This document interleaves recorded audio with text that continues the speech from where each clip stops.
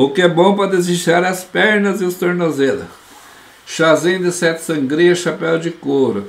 Quando você for fazer banho para desinchar as pernas que está doendo, às vezes as pessoas colocam sal no banho. Eu vou dizer para você, não coloque muito sal no banho, porque o sal sobe a pressão arterial, tá? Maria Carlene, sou nova no canal, mas sinta-se à vontade na sua casa. Elaine Carlos, boa noite. A Sidneia Sintra, não ouvi se me respondeu, me chamaram aqui. O que, que você perguntou mesmo, Sidneia? Tem que perguntar de novo porque eu não lembro. Era se desincha as pernas e tornozelos. Ah, o que desincha as pernas e tornozelo, é. é. Sete sangria chapéu de couro. E se você for fazer algum banho para desinchar as pernas, não coloque sal, porque o sal aumenta a pressão. Elaine, Carla, boa noite. O que o senhor indica para barriga pochete? Ai, ai, ai, ai, ai, ai, ai, ai, ai, ai. É chamado pneuzinho de barriga, né? As cápsulas de farinha de banana verde ou a própria farinha da banana verde, ela melhora a eliminação do intestino e reduz essa barriguinha aí, tá? Marisete Prats, chá de pitanga é bom para quê? O chá de pitanga trata útero, ovário, tronco, intestino, e o banho com chá de pitanga melhora a nossa intuição. Marli Ferreira, boa noite, boa tarde. A minha mãe tem 95 anos, já está muito fraca. Eu diria para você que essa mãe está muito forte. Porque chegar a 95 anos tem que ser forte, tá?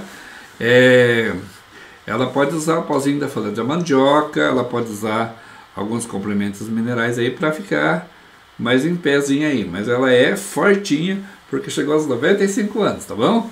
Zé Luiz, a minha mãe perguntou o que é bom para queimação nas pernas, chazinho de sete sangria. Marli Ferreira que eu posso dar para ela. Ei Marli, que você pode dar para ela? É o chazinho de sete sangria.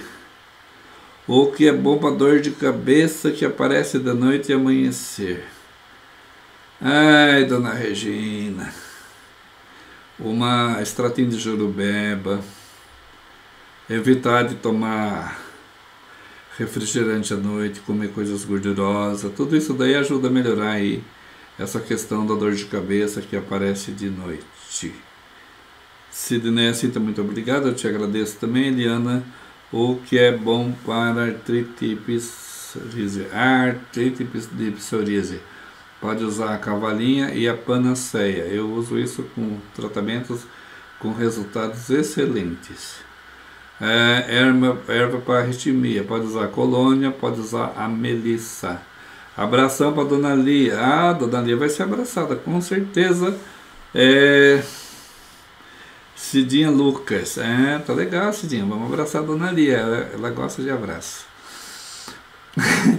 o que é bom para coceiras. Muito obrigado pela gentileza de me responder chazinho de cavalinho e dente de leão. Tem muita gente com coceira porque tá todo bem desequilibrado, né gente? Dente de leão dá um equilíbrio legal aí. Eu gostaria de lembrar vocês que o Paulo das Ervas atende na cidade de Salesópolis, tá?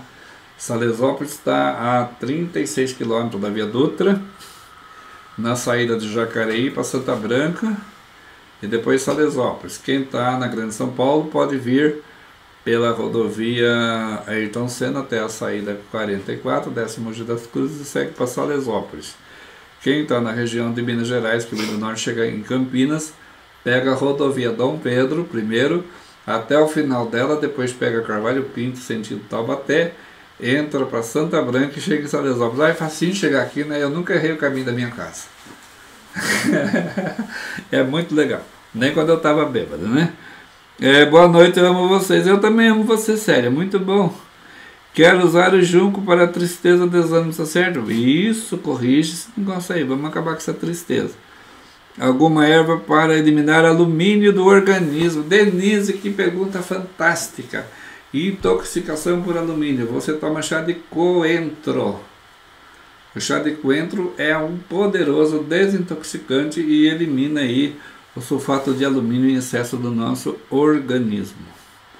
Né? O Filipão, que é da produção, nem sabia disso. Aprendendo também, né? Que é uma aula.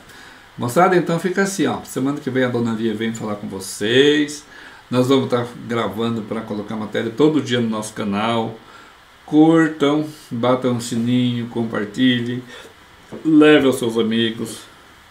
É, a Luciana Leite de Santa Branca, fica perto, fica perto de Salesópolis. É isso aí, Luciana, tem que lembrar pessoal, estamos pertinho, somos vizinhos. Mas a gente vai encerrar aqui hoje, e como é o mês da criança, eu quero deixar uma reportagem, uma, uma mensagem muito importante para você. Não deixe a criança que existe dentro de você adormecer nas trevas da ignorância, da falta de conhecimento, da falta do desejo de busca. A criança, ela não tem medo, a criança não tem trauma, a criança é corajosa. Então, olhando as crianças que lutam, que correm, que buscam, estão sempre dispostas às novas aprendizagens, fortaleça, vivencie, parabenizem e amem as crianças internas de vocês. Paulo da Zerva é uma criançona, tá? Eu acho que tudo que a gente tem de bom dentro da gente é aquela coisa da, da criança, do amor, do carinho, do doce, do chocolate, do melado, da bala. É para a gente crescer e ser forte, ser corajoso. E você que é pai, você que é mãe, ame os seus filhos.